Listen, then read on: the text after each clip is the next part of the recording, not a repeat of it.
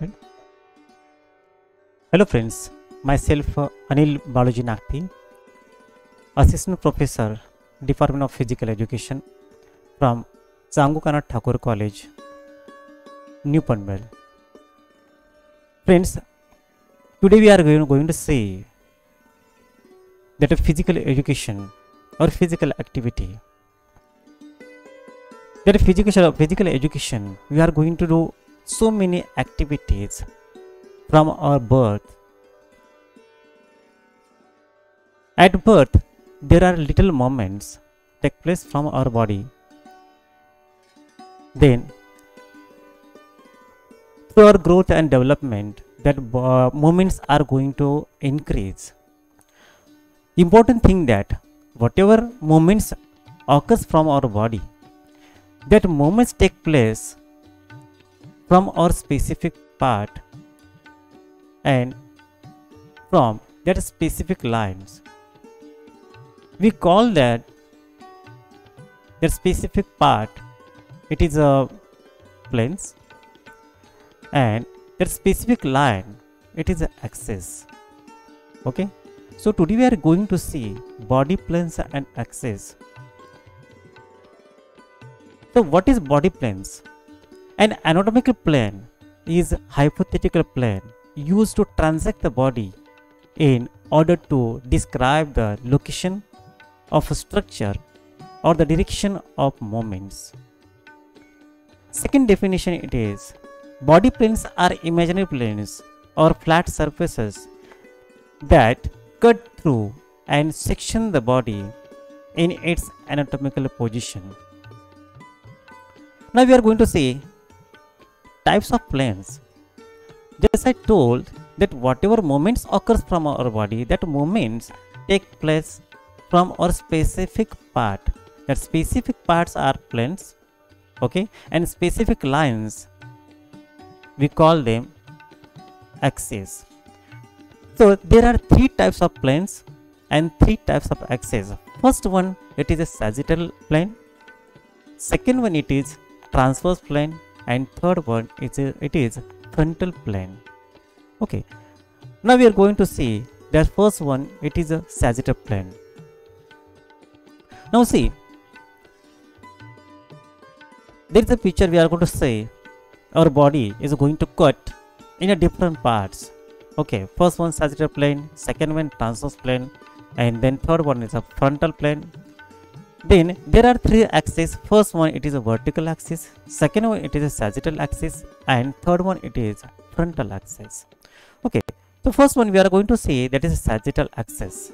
Okay, sagittal axis means a vertical uh, sorry sagittal plane means a vertical plane that divides the body into two parts that is a left and right side. This plane may be in the center of the body and split into two halves or away from the midline and split it into unequal parts. Okay, the first one we learn about sagittal plane. Okay, in the sagittal plane, what type of moments uh, take place? The first one that is uh, flexion and extension. This flexion and ex uh, extension movements occurs in sagittal plane. Okay, now for example, suppose we are going to play on the ground. While running, while walking, we are going to use the sagittal plane. Means walking, then jumping, squatting, running, kicking a football. These skills occurs, these skills take place in sagittal plane. Second one it is transverse plane. Transverse plane passes through the midline, middle of the body and divides the body into two halves that is upper and lower half. Divides the body into two halves that is upper and lower part. Okay, now what type of moments occurs in that transverse plane? Okay, that is a rotation type of moments. Rotation type of moments occurs in that transverse plane while rotate our body, we are going to use that transverse plane.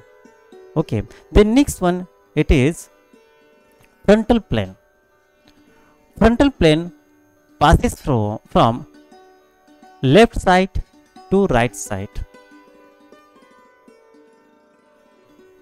Means it is divided into two parts that is front and back side. Then what type of movements occurs in that uh, frontal plane that is abduction and adduction. While jumping jack exercises or while raising our arms we are going to use that frontal plane okay second thing suppose we are going to do that skill like a uh, chess pass in football. That time we are going to use that uh, frontal plane. Okay. Suppose we are going to do the skill of a heading. That time that time we are going to use that uh, frontal plane while heading to football. Now next part it is a types of axis. First one that is a vertical axis second one it is a sagittal axis third one it is a frontal axis I show that picture.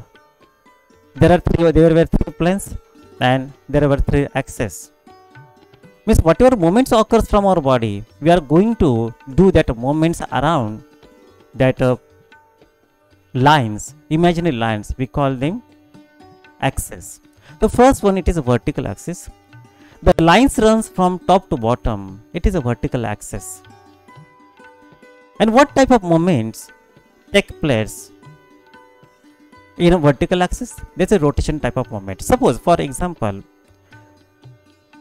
a skater when a skater perform a spin that time he rotates his body around the vertical axis okay then second one now see this is vertical axis. Okay? We are going to rotate our body around that vertical axis. Okay? Then next one it is a sagittal axis. The line runs from back through the center of the body. The line runs from front to back through the center of the body. It is a sagittal axis. For example when a person perform cartwheel that time he rotates his body around the sagittal axis. Okay? It is sagittal axis. Then last one it is frontal axis. This line runs from left to right through the center of the body. The lines runs from left to right through the center of the body. Now see the picture. Okay? How the line is runs from left to right. Okay. For example when a person perform a somersault that time they rotate around the frontal axis. Okay. Now we learn about that uh, planes and axis.